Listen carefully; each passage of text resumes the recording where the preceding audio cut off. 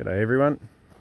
I'm out at White Peg Road on the corner of Gordon's Track, if anyone's following along at home. I've got the, not quite a P5 air chime, it's a, a copy uh, that was fitted to a Speno rail grinder. Um, it looks like a P, it's got a block manifold, like a block of aluminium manifold, not a gull wing or a, low profile. Um, same internal layout. I've got photos and everything I'll direct you to or you can see on my page. But yeah, when I got it, it was sounding one and a half bells. And it was filthy dirty, covered in, in um, soot and that sort of thing. Pulled it apart, soaked it in oil, pulled it apart, cleaned it right up. Um, and yeah, it sounds pretty nice. Um, that's my wife up there. She's going to get a bit of a shock in a minute. But yeah, I'm on about 90 psi and on the remote solenoid I'm at about oh, 60 meters away. I'll just give it a couple of goes on the half stage.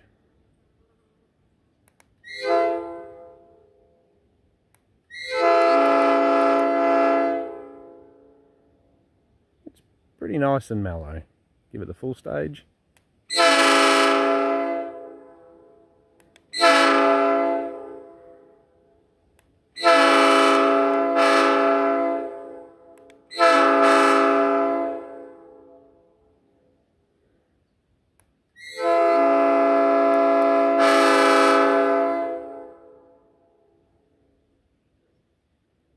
Yeah, so it's on the full stage it leads with the, the number one bell. It's pretty bottom endy, but on the half stage you hear it sort of the rest of the bells take the lead. So I like that. That's pretty nice. Give it a couple of more and then I'll swap to a genuine P5.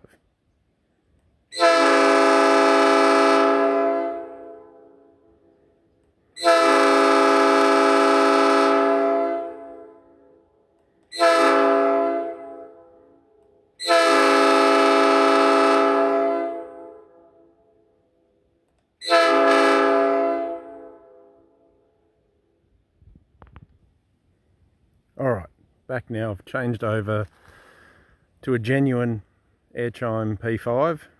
Same pressure, I just charged back up uh, from nine. That first couple of blasts went from 90 to about 60. So I've charged back up to 90. And here's the genuine P5 on half stage.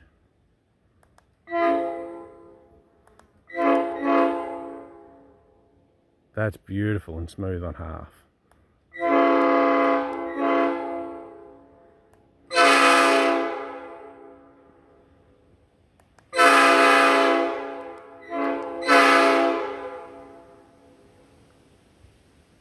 So